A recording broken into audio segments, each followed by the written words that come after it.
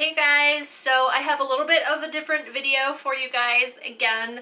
I did a video similar to this um, a couple of weeks ago probably and I got a lot of really positive feedback from you guys and I had a lot of snaps later on, actually an overwhelming amount um, that I really, really appreciate you guys um, reaching out and expressing, you know, either your gratitude or other concerns that you may have. So that is what brings me to today's video. I talked about in the last video about drama channels on YouTube. It's a little bit of a newer genre uh, in the YouTube world and a lot of them kind of comment on beauty bloggers almost a little bit in the way that e-news does, I would say, is what I can kind of compare it to, except a lot of the times it doesn't really have merit. Um, we can get into that later. Uh, I feel like a lot of times though, they're just looking for another video and a lot of the content isn't based in fact.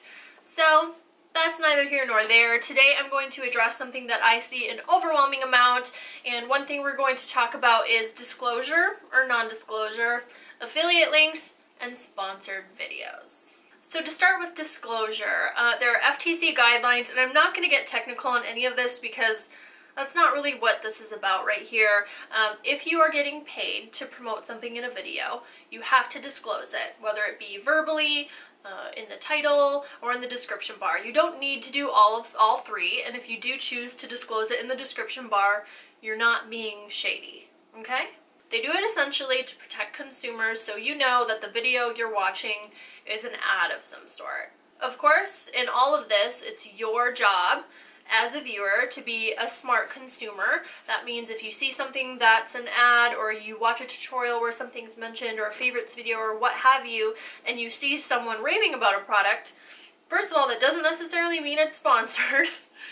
Uh, not everything that's badass is sponsored, okay? Seriously. It could just be good. I know that blows a lot of people's minds. So you could see someone raving about something, but it's still your responsibility to do the rest of your homework before you buy.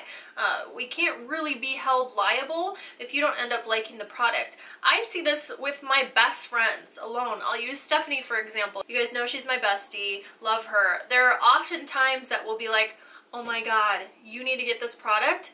I'm obsessed with it blah blah blah blah blah and she'll try it and she's like eh or I'll try it and I'm like, it didn't really work for me.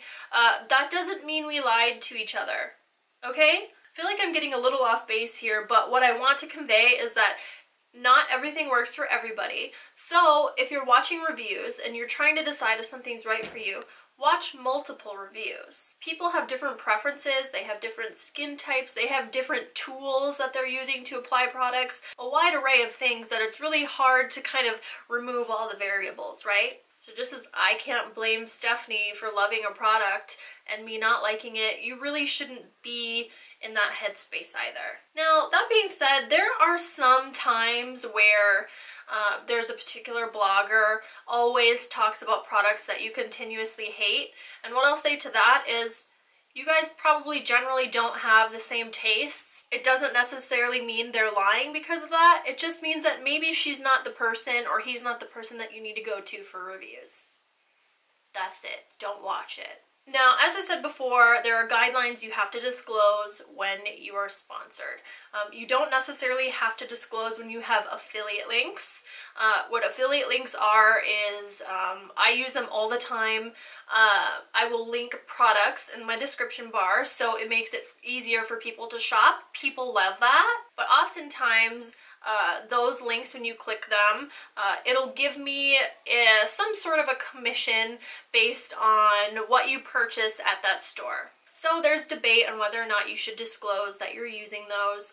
Um, I don't think that you should have to, but that's just my opinion. However, I do do it because I do see that there's an overwhelming amount of people who get really pissed off about bloggers making money, which of course I'll talk about in a moment. And you can check the description bar down below. I'll give an example of exactly what I do in all my videos now. However, just because I do that doesn't mean someone's wrong for not, in my opinion. Tons of positions in all areas and realms of the business world operate on commission-based situations. My dad's a sales executive, and in my eyes, these sales reps, we'll use them, deserve a commission because they did a good job talking about how bomb the product is. So bloggers, we get to do what we love, talk about products that we love, and we get to receive a commission for that. Now we're just going to quickly talk about sponsored videos. I do these pretty, I wouldn't say super frequently, but for me as a smaller channel, I don't really make hardly any money whatsoever using those affiliate links because I don't have very high views, right? I'm just going to give you guys a little lesson. And I know a lot of you guys who are watching this who are my subscribers, we've talked about this before, so this isn't going to be news to you. Uh, my sassiness isn't really directed at you guys either. Um, it's really frustration that comes from seeing uh, really negative comments from people who are really, really pissed off and think that they are getting scammed AF. It's just not the case. Let me stay focused. So sponsorships seem to be the number one source of anger in this beauty community. As I said before, I do them. I have to, essentially, to stay afloat. That being said, I don't review or create sponsored content using something that I think is crap, nor do I think others do. Sometimes I can suspect that, but there are so many times, like I said before, that I really dislike something and I have a very close friend that loves it. So it's hard for me, without knowing the person personally, to make that assumption. So not everyone does sponsorships. Some people don't have to. Some people make money in other ways. And there's a lot of ways in which you can make money in uh, the blogger, vlogger, beauty community atmosphere. That's a whole nother video, but there are lots of those for you guys to watch. But sponsorships are huge. It's a way to bring money in so that we get to keep creating content for you guys for free. YouTube is free entertainment.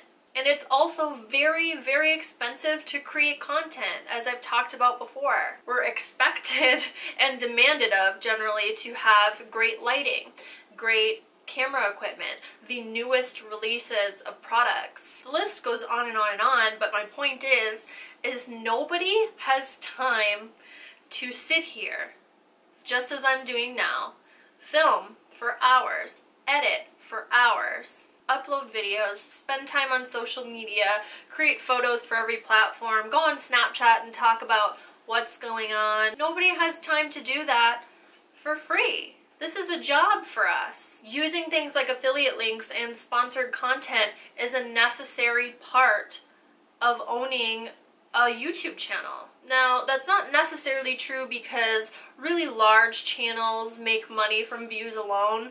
I do not. So some people decide that it's not for them and that's fine, or maybe some people just do sponsored content on Instagram, whatever. Every person kind of has their own recipe, essentially, that works for them. Bloggers and influencers, whatever you call us, we're just trying to make the coolest content for you guys. I see comments on these videos um, of these drama channels all the time of people who legitimately think that we are out to scam them, we're out to get them, we are the worst, we are um, full of shit, blah, blah, blah, blah. Maybe there are people like that, but just because you are using these steps to try and make money and build your business to create content for free for your viewers does not mean you're shady.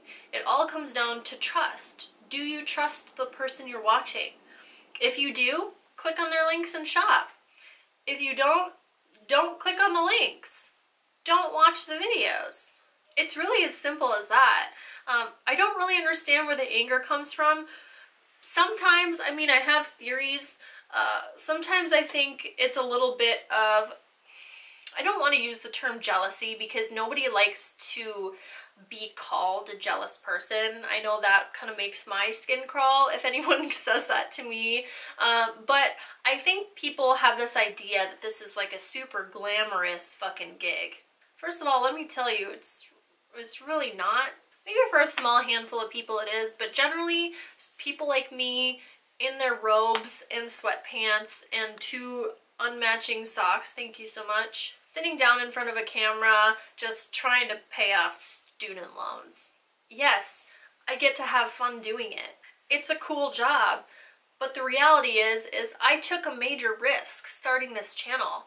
I spent, as I said before, all the money I had um, buying a camera and equipment and I feel like I'm gonna get emotional and I think it's just because I'm PMSing. Taking time away from uh, a typical job, something more steady, to try and uh, get me through college so I could provide a better life for my kids.